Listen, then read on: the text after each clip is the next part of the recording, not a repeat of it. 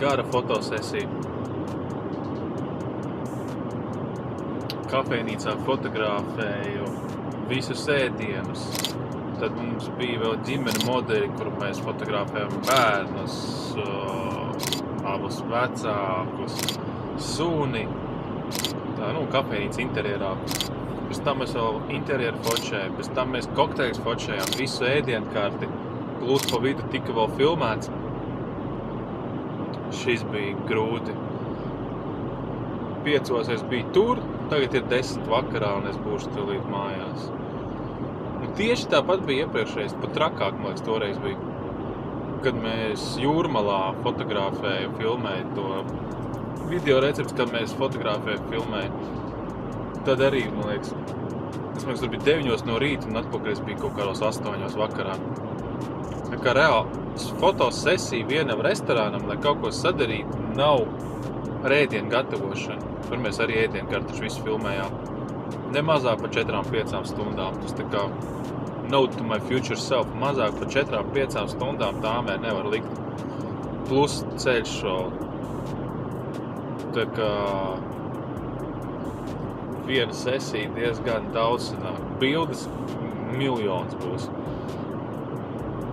Tagad parādās jauna vajadzība, ka fotografijas jāuztais tā, lai var ielikt voltā, voltā vienalga mājaslapā, kas būs, nu, tev jābūt tā kā stoka bildē, ka tu redzams ēdiens konkrēti, kā viņš izskatās bez māksliņas.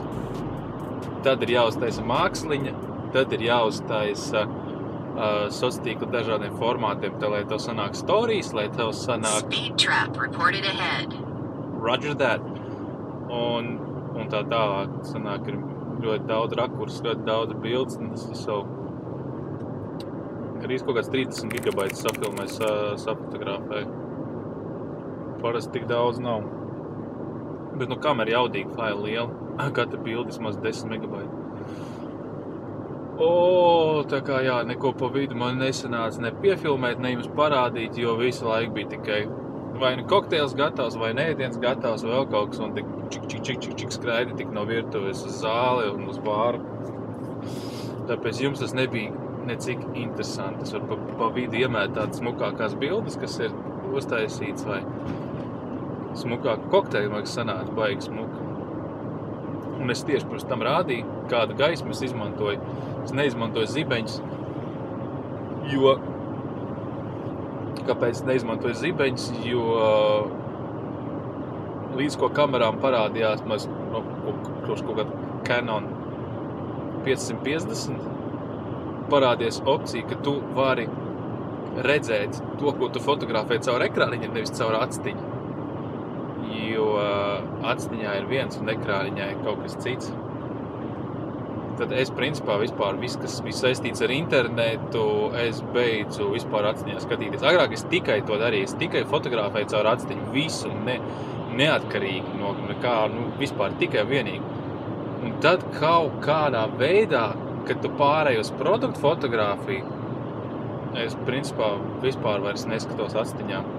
Jo es uzreiz uztaisu kvadrātu bildīti, es uzreiz uzlieku savu vajadzīgo krāsu profilu, un es automātiski redzu to, kā izskatīsies jau tīklos. Es vispār Photoshopu izmantoju ļoti, ļoti maz.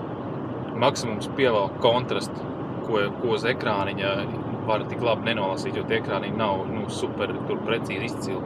Un nerunāsim arī par izmēru. Jā, un tāpēc. Ko es to gribēju pateikt? Es jau aizmirsu. Es tā pārgājos, es jau sāku tupīt. Jā, bildes daudz, bildes smuks. Es pilnīgi tagad kameras roku, nu, es tagad turu mazo kameriņu, es nevaru noturēt. Man roka iet uz leju, jo mani kamera ir no metāla, objektīvs no metāla. Un es mainu rokas, es nevaru vairs noturēt. Un viņi ir salīdzinoši smagi. Nu, tikpat cik kanons, bet kaut kā liekas, ka viņi ir smagāka. Un tā ir nogurus roka. Četras stundas, iedomājies, tur ir rokās visu laiku kilogramu vai vairāk. Viņus var stāv kājās četras stundas. Soli, solīšos, nekas nav noies 2000 kājas lupatās. Es parasti nestāvu kājās tik ilgi. Bet bildes būs daudz, man baigi foršās. Ceru, ka autofokus būs noķēris, nebūs nočakarējies. Kāpēc ir tik daudz bildes? Jo es burstos, nelielos burstos visu fotografiju. Ko tas nozīmē? Burstos tas nozīmē, ka ti- ti- ti- ti- ti- ti- ti- ti- ti- ti- ti- ti- tā kā pēc kārtas vairākas bildes, jo tas ir ļoti svarīgi. Kad tu dažreiz fotografē nevar uztaisīt vienu bildi vai divas bildes, to tu vari darīt studijā, kad tev ir kontrolēta situācija, kad tu ej un bliez un sk eh, skraidi apkārt cilvēkiem un ķer emocijas. Burstā, burstā, burstā, un pēc tam lasi ārā. Ja tev varbūt liekas, ka, oh, es nofotografēju, viss ir baigi smuki, viss ir baigi forši, un pēc tam tu mazliet aizčārts acis ciet, vai, vai bilde bišķiņa ir izplūdusi, jo slēdzis ir pa lēru bijis.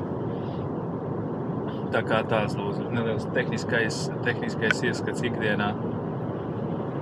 Un man jau ir kurā, kurā vieta, ko es fotografēju, filmēju tieši rēdienu. Tas man liekas ļoti dīvaini, ka vispār esmu saistīts, saistīts ar gra grafikas dizainu. Ja? Var, varbūt arī rullīšu visādas eh, taisīt video. Bet kaut kā vienmēr man trāpās. Tas bija Vokstrīta, uh, Siļķa, ne, Šašliks un Reņģa. Kas man vēl ir bijis, pat neatceros. Tagad kafē mētra, bet kaut kas vēl bija.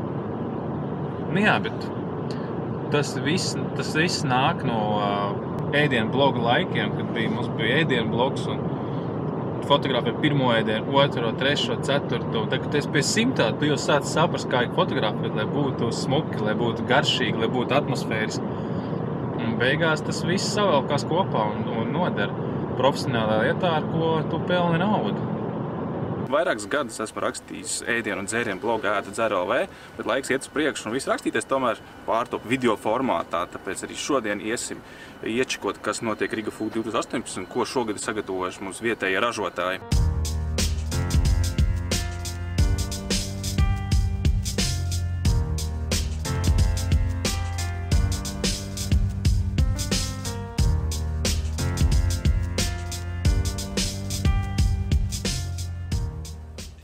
Uz Riga Food izstādi mēs braucam meklēt tādas lietas, kas iespējams nav pārdošanā veikalos.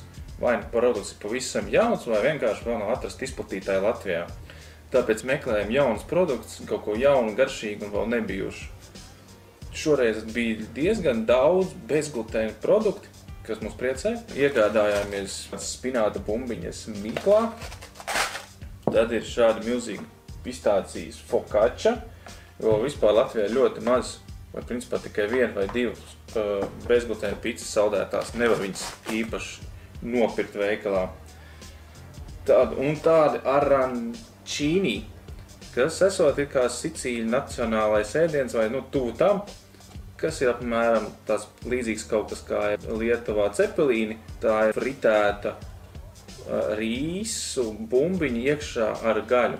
Izstādē ir arī forši, ka var nopirkt produkciju daudz, daudz lētāk nekā veikalā, jo pats ražotājs piedalās un tāpēc tā cena ir daudz, daudz zemāka. Nopirkām arī šādas te mērcītes, kuras esam pirkuši veikalā, mums ļoti garšo.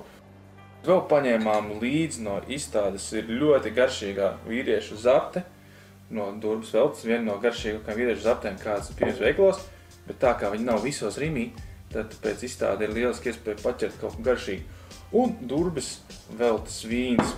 Protams, ka bija jāpaņem arī alus. Visas tur alus nevarēs paņemt līdzi, jo cenas ir salīdzinoši augstas. Litrs alus ir 4,50. Izvēle bija kritusi šo, jāsaka, dīvaino alu, ko es nezinu, kas tas vispār tāds ir. Rakstīts ir pab, pabe, paberzner, un alas saucās White Obama. Alas skaitās tumšais un saucams White Obama arī īsti nesaprotams. Un jaunā čigāna brūža radījums Amerikas gaišais sēles ar mozīgas apiņiem no nomada alus. Par to gan būs vēl atsevišķi vesels stāsts un sērija.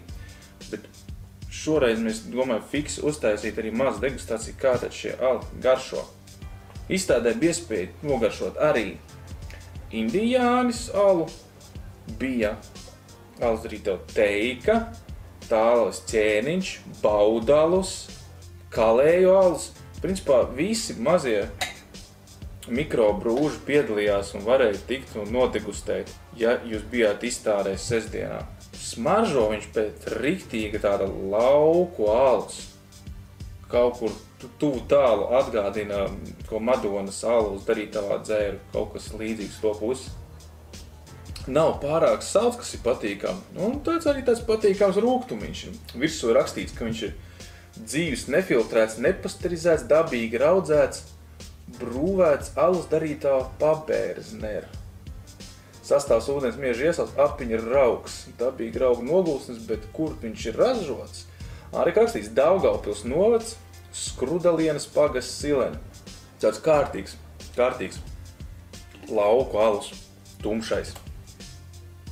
Uf, nu šī cits stēla pilnībā.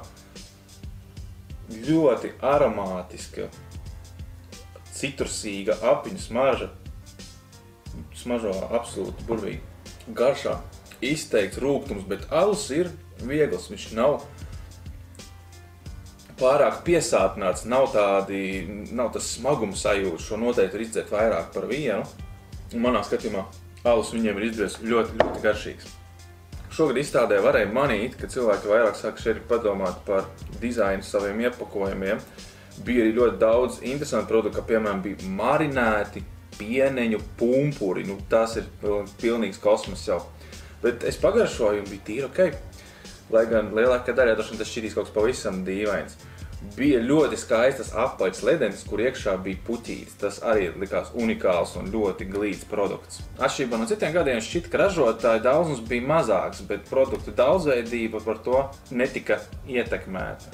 Šogad izstādē bija arī piedomāts vairāk par to, kā izskatās, kāds bija noformējums, kas radīja tādu vairāk īpašāku atmosfēru, kas bija ļoti forša. Laukuma vidū bija kā tāda smuka neliela itāļu kafejnīca ar smukām lampiņām un karodziņiem, kur cilvēki var atpūsties, čilot un pagaršot un degustēt apkārt esošos produktus. Tāds lūk, būs nelielais apskats no Rīgas 2018 un tiekamies jau nākošajā video. Paldies, ka skatījāties!